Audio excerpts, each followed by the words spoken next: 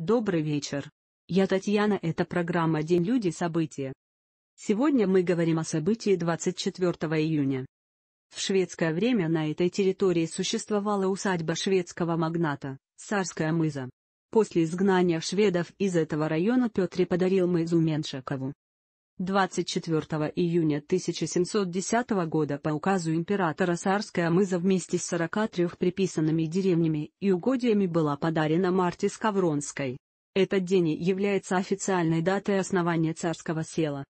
Более двух веков царское село являлось резиденцией российских монархов, одним из самых привлекательных пригородов Санкт-Петербурга.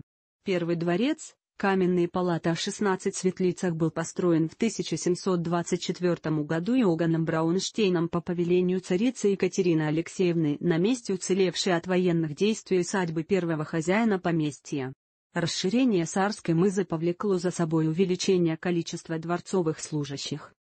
Рядом с резиденцией начала создаваться слобода, Постройки, располагавшиеся в непосредственной близости к императорскому дворцу, образовали сначала Садовую, а впоследствии Служительскую, ныне Среднюю, и Малую улицы.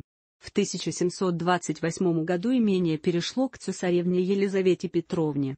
До ее восшествия на престол в 1741 году единственной значительной постройкой в царском селе была Знаменская церковь, созданная в 1734 году архитекторами Земцовым и Бланком.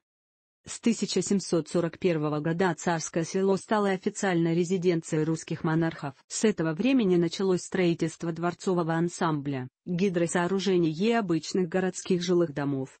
Множество выдающихся архитекторов и художников, знаменитых резчиков по камню и дереву, самых лучших кузнецов и камнетесов трудились здесь над созданием дворцов и парков. Итальянское барокко, античные и готические, египетские, китайские и древнерусские мотивы, все причудливо переплелось в этом удивительном городе. Вам понравилось наше видео? Ставьте лайки, подписывайтесь на наш канал.